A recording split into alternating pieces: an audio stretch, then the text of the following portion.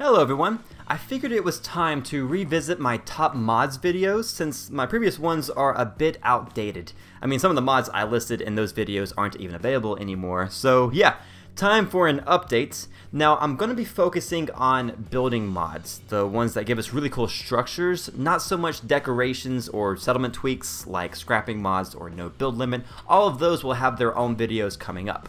So as I talk about each one of these mods, I'm going to be flipping through their menus so you can get an idea of what comes with them, but I'm not going to be talking about every little thing these mods give us because that would literally take days to do, and as much as I love these mods, I got I got like a job, you know, and, and things to do, man.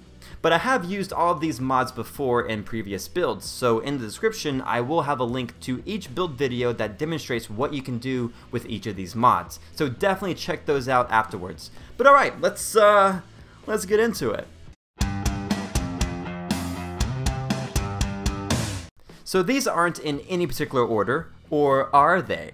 No, they're, they're not. I don't know why I said that. But the first one is Snappy House Kit, which is available for Xbox and PC and does not require any DLCs to install. Now, PS4 users, before you start rage typing some well thought out comments about how Sony sucks, which in this case they do, or about how I suck, which in most cases I don't, I will mention alternative PS4 mods for each of these that I go over.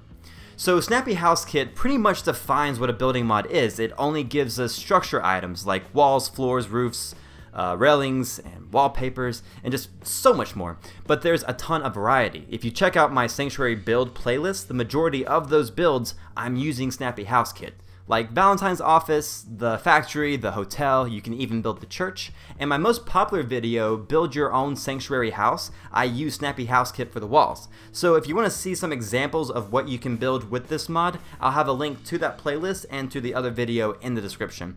But to me, like the coolest thing about it is we can build a lot of the structures we've seen across the Commonwealth. Some of these items like roof trims and balconies I haven't seen in any other mod. So if you're looking to expand what types of structures you can build, this is the best mod for that. Alright, PS4 users, there are essentially three mods that are good alternatives to the ones I'm talking about, which are USO, Unlock Settlement Objects, Workshop Items and Workshop Items base game. The last two are pretty much the same thing. The first one just adds more items to the base game mod.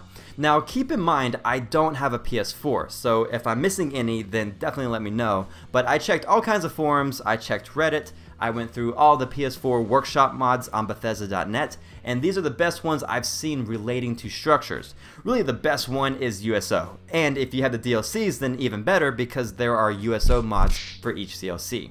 Workshop items is pretty cool, but the only problem is that some of the walls and floors don't snap. It's, it's kind of hit or miss, which obviously can be a pain in the ass, but it does give you a lot of these items. Now, as I mentioned, I didn't see a lot as far as building mods go, but for decorations and even settlement tweaks, I saw a few on there that looked really cool that I haven't seen before, which I'm going to talk about in my next couple of mod videos coming up. Alright, so the next one is the Master Plan mod series. This one is really cool because you can pick and choose which mods you want to use.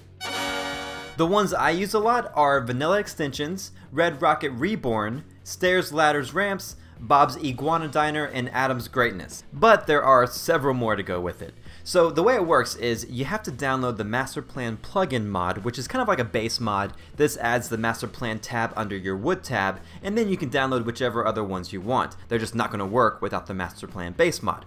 And you want to make sure that the base mod is above all other Master Plan mods in the load order.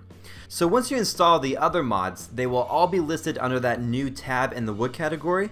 There are a few exceptions though, some of them have different versions where you don't have to download the main plugin mod, and I think two of them require DLCs, uh, Vanilla Extensions and Port Royal, but again there are versions of them that don't require DLCs or the main plugin. So if you're curious as to what all is out there, just go to Bethesda.net search master plan, and you'll see all the mods available. My favorite one is vanilla extensions. It, it gives us a lot of new structure items that you won't get from any other mod, and it improves the vanilla snapping system, which I'll talk about a little bit more in a few minutes.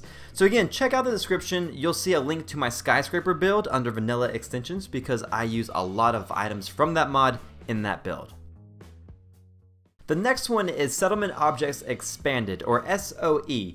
Again, this one is available for Xbox One and PC. There are two versions, one that requires all DLC and one that doesn't, so you do have options there. This mod is huge. It adds so many items to the menu, and not just to the Structures tab, but also furniture, decorations, power, and probably more, but I don't know. I was going to look into it a little bit more, but, uh, well, I just, I just didn't.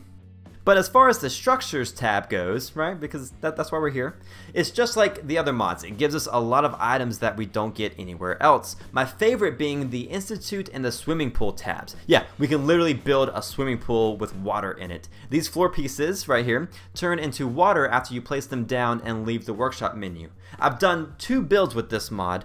My Institute build, which was so much fun, definitely check that one out, and my school build. I used the USS Constitution category for the walls of the teacher's house. Uh, there's also a vault section in here that I'm really excited to use. Basically, it gives us normal structure objects like normal walls, doorways, floors uh, that look like vault pieces. Now, anyone who has built a vault with the Vault-Tec DLC knows that it can be a bitch. I mean, those pieces are really cool, but you know, it, it can be very awkward. So I'm really excited to build with this mod. It seems like these pieces would be a lot easier to work with if you're wanting to build, say, a hidden vault somewhere. Yeah, yeah, you see? Little hints at what I'm going to build soon. Uh, and again, there's just so much added with this mod, uh, and I'll talk about other parts of it in my next mod videos. Alright, up next is Thematic and Practical. This is a very practical mod that is usually on theme, right? Right? Be because of the name? No one? Okay, fine.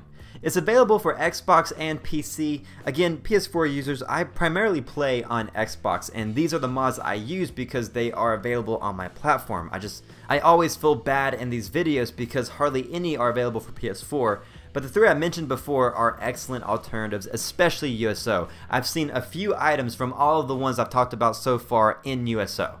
And again, the next mod videos will actually have some PS4 mods available, not alternatives. But anyways, Thematic and Practical also has two versions, one that requires DLCs and one that doesn't. I use the one that you don't need DLCs for. It's a pretty small mod, but size doesn't matter, or so I hear. It only has a few menus, but I have to have all of them. My favorite one is the Trading Emporium. This is the mod that I use for my Sanctuary Marketplace around the tree, and it works great. I love the scrappy looking pieces, and they actually work. Like, you can assign settlers to these stores, and they will interact with them. There's also a scavenger tab which gives us a lot of scrappy furniture which I'll talk about more in my decoration mod video.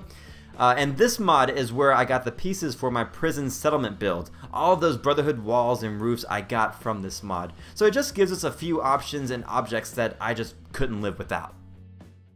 And the last one I have to put on this list is Workshop Rearranged. This one is in my last mod videos, and let's be honest, I talk about it all the time because it's my absolute favorite. It just has everything that I look for in a mod, and it just, it just gets me.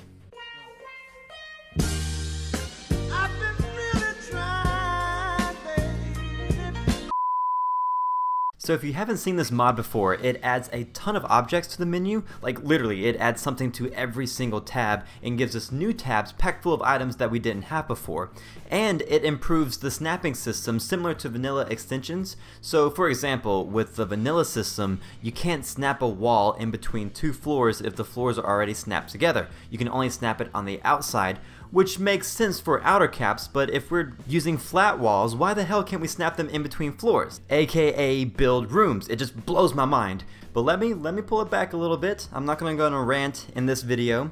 But another example with the vanilla system, you can't snap a floor to the top of the wall. You can only snap a roof, which I guess makes sense. But with Workshop Rearranged and vanilla extensions, they fixed this problem. We can snap just about anything to just about anywhere, and it just, you, you know, it just feels good. And the last thing to note about this mod is that it reorganizes, or rearranges, your workshop menu to make it easier to navigate and to accommodate all the new items that it gives you. And also keep in mind, Workshop Rearrange completely changes your workshop menu, so if you try to install other mods that do the same thing, such as Master Plan and USO, you have to download the Workshop Rearrange patches for each one, otherwise it's not going to work. So quick honorable mentions, G2M Workshop is another great mod. I use this in one of my favorite builds, which is the Mountain House build. It gives us a lot of wood walls, container pieces, spiral staircase, and lanterns we can hang from the wall. So definitely worth checking out. And last is pre-war and post-war Sanctuary House Kit. This is the mod that I ported over to the Xbox. Unfortunately, Sony blocked me from porting over to the PS4. I did try, now, I didn't create this mod, I just saw it on nexusmods.com and asked the mod author if I could port it. This is the only mod that I have seen that gives us an extensive set of Sanctuary house pieces to where we can rebuild these houses. I use this mod all the time, which you'll see in my Sanctuary build playlist. But that's it for me. I hope this list and information helps you guys out. If you have any questions, please let me know. Also, I wanted to give a shout out to all of the mod authors out there. I really appreciate all of your hard work to make this game even better, and I thank you for all the effort you put into these mods. But thanks for watching. Again, if you have any questions, please let me know. Don't forget to check out the links in the description. If you don't see them, just click show more and they'll pop up.